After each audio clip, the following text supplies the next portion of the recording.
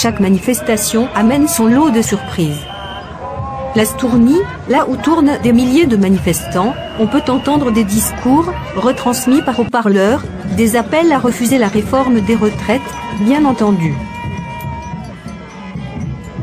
Mais aussi, on découvre quantité de messages, écrits sur banderoles, destinés à attirer l'attention sur autre chose que les infos, matraquées par les médias de masse, en guise de diversion, du type virus chinois ou les malheurs de Brigitte.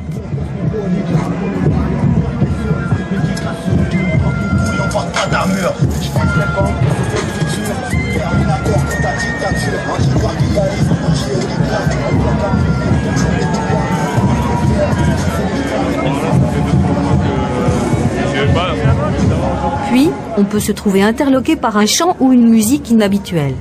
Les mélomanes des années 60 reconnaîtront le chant des marais, ce chant écrit en 1933 dans les premiers camps de concentration nazis, chant écrit par les prisonniers communistes, les premières victimes de l'ordre nazi. Ce magnifique chant n'eut pas le succès qu'il méritait, la censure anticommuniste y veillait.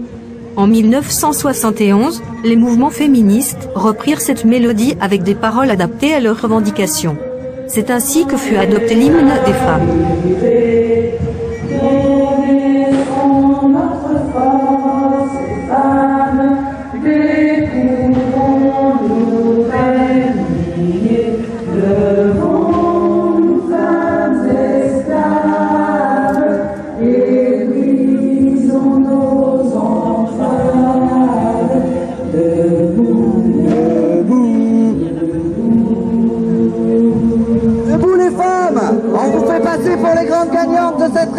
C'est pas du tout vrai.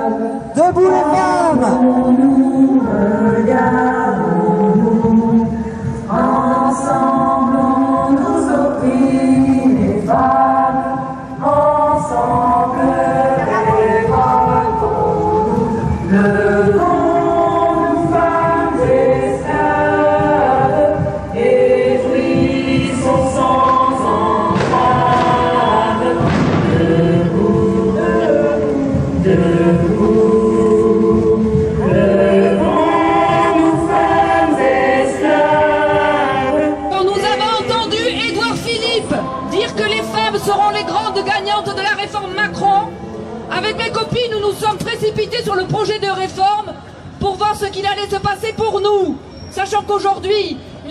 des femmes sont inférieures de 30% à celles des hommes. Et voilà ce qu'on a vu. Agnès est caissière à Auchan, en temps partiel imposé. Elle n'aura pas de carrière complète, quel que soit l'âge auquel elle partira, sauf peut-être à 80 ans. Les 1000 euros de retraite minimum, ce n'est pas pour elle.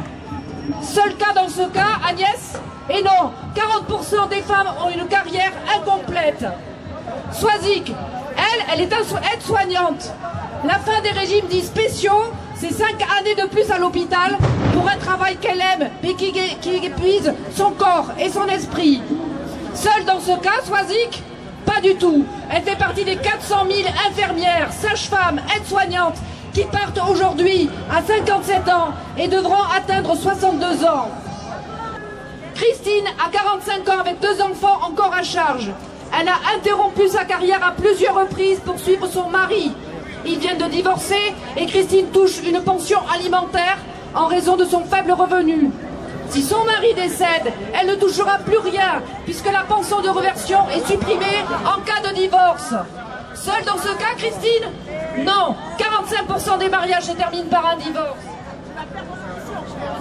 Et oui, Macron et Édouard Philippe n'ont oublié qu'une chose. L'école publique a fait des miracles. Tout le monde sait lire, même les femmes. Les grandes gagnantes ont tout compris. Du coup, elles sont de plus en plus nombreuses dans la rue, visibles, déterminées, prêtes à témoigner de leur quotidien et de l'avenir de misère que leur prépare cette réforme, et prêtes à se battre. Alors Macron, tu sais ce qu'elles te disent, les grandes gagnantes?